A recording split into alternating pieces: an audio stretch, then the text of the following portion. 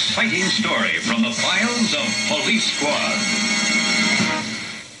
Здравствуйте, вы смотрите репортерский отряд Нью. В переводе с английского Нью означает «мир во всем мире». И учитывая это, у нас нет другого выхода, кроме как начать с миролюбивых новостей. Вице-губернатор Денис Фадеев намерен уладить свой конфликт с главным редактором четвертой власти Вадимом Рогожиным в досудебном порядке. Наверное, такое развитие событий обрадовало Вадима Рогожина, а меня не очень, потому что я в очередной раз убедился, что властям верить нельзя ни по одному вопросу. Понимаете, вот если бы он сразу, Денис Фадеев, После выхода статьи побежал в отделение полиции по месту жительства, схватил бы бланк и стал трочить «требую привлечь Вадима Рогожина за клевету». А на другой день сказал бы, ну попутался, ошибся, погорячился, не сразу понял значение слова «паш», решил, что «паш» это то же самое, что наркодилер или свингер, например. Услужливый свингер звучит. В общем, заработался. Бывает.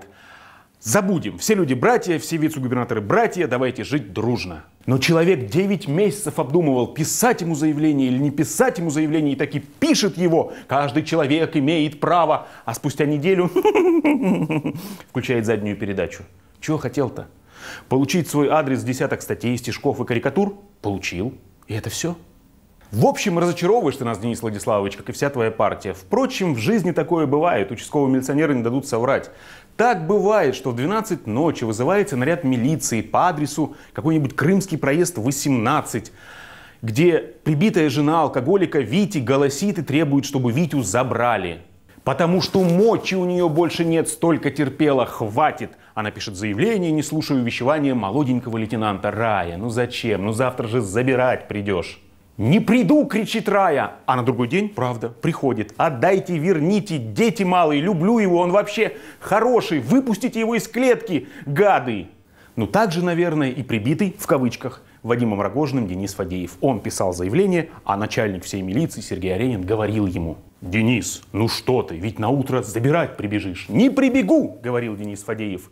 «Не могу больше терпеть отсутствие конструктива». Измучил меня этот Рогожин, истерзал. Но наступило условное утро, и пришел. Отдайте, верните, он вообще хороший, люблю я его. Другие мужики, другие редакторы еще хуже. Так все и было, наверное. Переходим к другому событию, которое стало результатом того, что у людей также переполнена чаша терпения. На днях в администрации города несколько хороших парней собрались и думали, что делать с автомобильным движением в Саратове. Вернее, с автомобильным стоянием, так как по последним данным на тысячу человек населения приходится 300 автомобилей – кто-то говорил, нужно больше эвакуировать. Ему возражали, и так достали эти треклятые эвакуаторщики. Кто-то предлагал запретить движение автомобилей в центре города. Кто-то напротив думал, что лучше всего запретить движение пешеходов. Таким образом исчезнет необходимость во многих светофорах и, соответственно, исчезнут пробки. Самое отдельное предложение поступило в конце. Несколько хороших парней решили создать рабочую группу по этому вопросу. Вообще в любой непонятной ситуации принимайте решение создать рабочую группу по данному вопросу. А лучше всех смотрелся глава города Олег Грищенко, потому что он мечтал. Чтобы расшить все эти потоки, нужно делать метро, нужно делать выделенные линии для электротранспорта, нужно, значит, э, расширять дороги, делать парковки, э, какие-то, значит, стоянки, логистические центры. Это целый спектр, это целая структура, целая система, чтобы это все наладить и сделать, чтобы в городе было хорошо. И стоянки, и движения, и пробы, чтобы не было.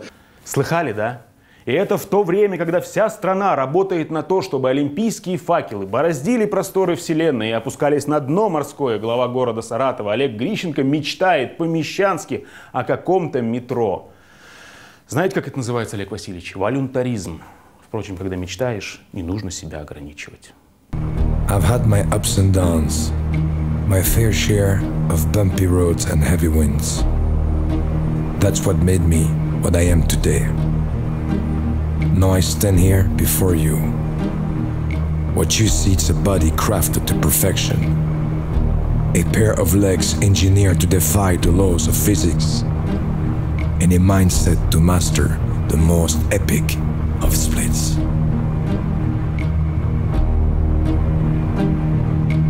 Who can say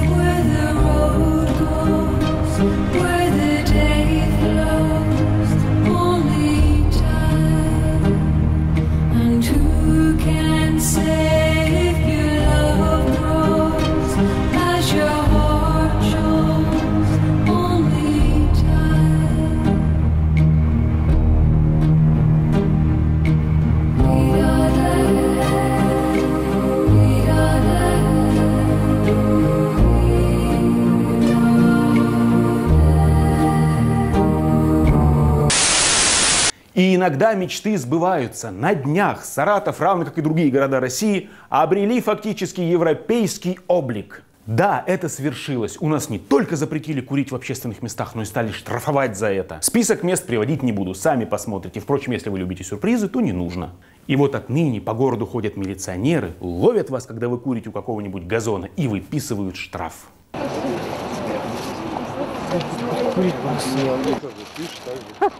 Решил продолжить, да? Скидка студенческая. Скидка. Я, конечно, понимаю. Во-первых, вы, наверное, думали, что европеизация Саратова и других городов России пойдет немножко другим путем. И в списке необходимых мер запрет на курение и штраф в общественных местах будет стоять под номером 116. Во-вторых, вы, наверное, разделяете мнение о том, что если заботиться о здоровье и благополучии россиян вводом штрафов, то нужно делать это более широко, не размениваясь на какие-то условности в виде сигарет. Штрафовать в городах России нужно только за то, что человек там живет, появляется в общественных местах, ходит по улицам, пользуется транспортом, пользуется услугами муниципальных поликлиник, да просто решает перейти перекресток на зеленый свет, тем самым подвергая опасности свое здоровье, благополучие и будущее нации. За это нужно штрафовать. Но не станем занудствовать, а просто расслабимся и будем получать удовольствие, чувствуя себя отныне немножко парижанами или мюнхенцами. Revoir. Напоминаем, что репортерский отряд не несет никакой ответственности за все сказанное в программе. Auf Wiedersehen.